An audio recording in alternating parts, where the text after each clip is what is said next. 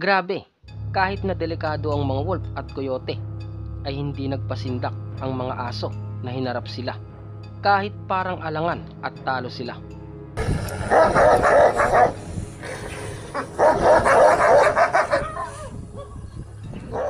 Habang nasa gubat sila para bantayan ang mga alagang hayop dito, ay may nakita silang dalawang koyote. Pero ito ay hinarap ng dalawang alaga nito.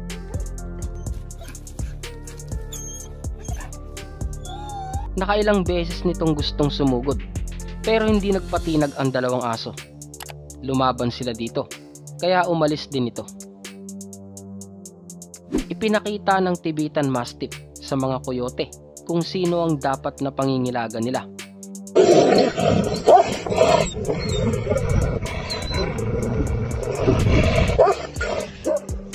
Dahil kitang kita ang pagka-alpha male nito sa kanila.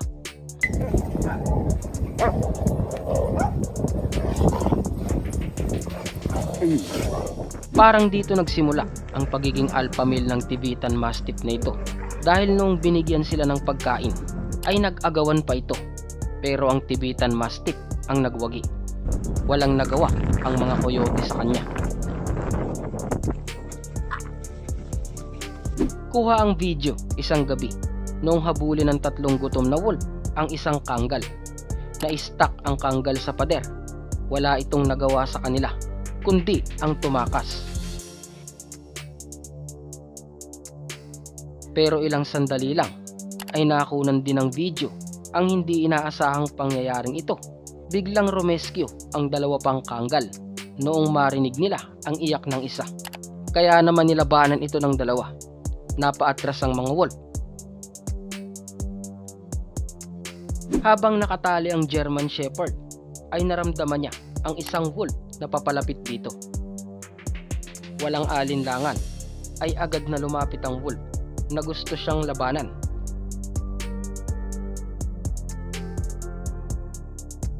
Pero pumalag naman ang German Shepherd kaya napaatras ang wolf. Mukhang gutom na gutom ang coyote na ito nung maaktuhan ng kamera. Tinarget niya ang mas maliit na aso pero tumatago ito Kaya naman, nung ito ay maisahan ng koyote, ay dito agad dumating ang mas malaking aso. Dahilan para mailigtas ang mas maliit mula sa koyote. Inakala ng wolf pack na magpapasindak ang dalawang alabay sa kanila kaya sinugod nila ito at pinagkaisahan. Pero dito ay makikitang pumalagang dalawa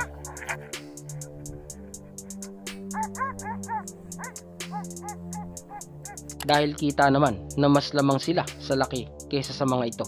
Kaya ang pambubuli ng mga wolf ay nauwi sa pag-atras. Heto pa ang isa na kahit na nakatali ang kanggal ay nagawa pa rin niyang bugbugin ang isang wolf. Makikita sa video na tinangay ng wolf ang malit na aso pero hindi pumayag ang kanggal na makalampas ang wolf dito dahil nung ito ay maabot niya ay binugbog niya ito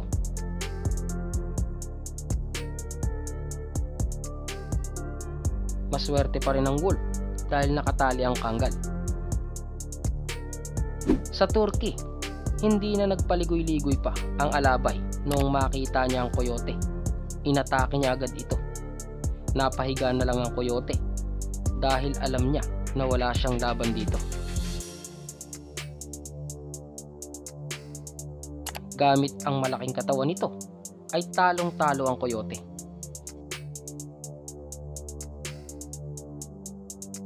Kahit na tumakbo ang isang ito, ay hinabol pa rin siya ng mga aso.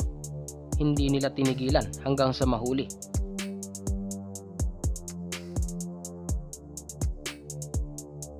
Kaya naman, ito ang ginawa nila.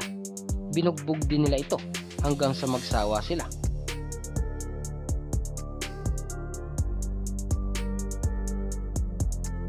Grabe din ito sa pagtakbo ng koyote.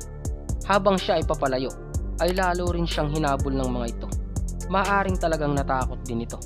Kaya puro depensa ang ginagawa niya. Dahil marami at malalaki ang mga aso.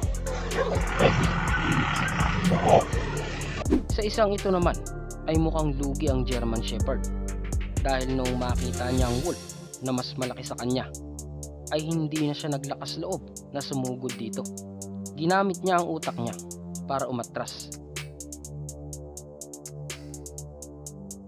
Nagkaharap din ang Dogo Argentino at isang wolf. Siyempre, magpapatinag ba naman ang Dogo Argentino? Kaya mula sa tubig ay sinugod niya ito at hinabol niya. Napatakbo naman ang wolf sa takot. Kaya hindi na niya hinabol pa papalayo.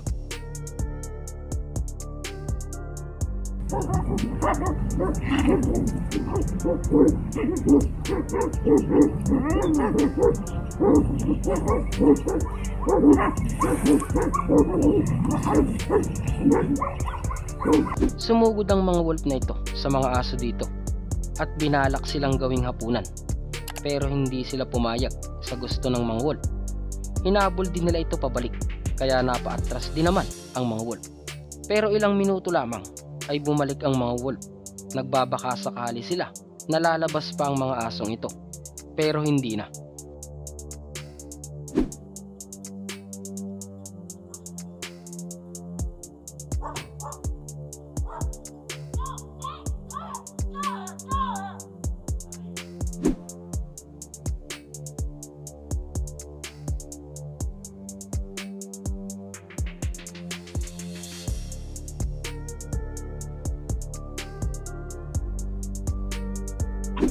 Yan lang muna ang mga video natin sa ngayon. Ikaw, alin ang nagustuhan mo sa mga pangyayaring ito? At alin din sa palagay mo ang kayang makipag one on one sa mga wolf?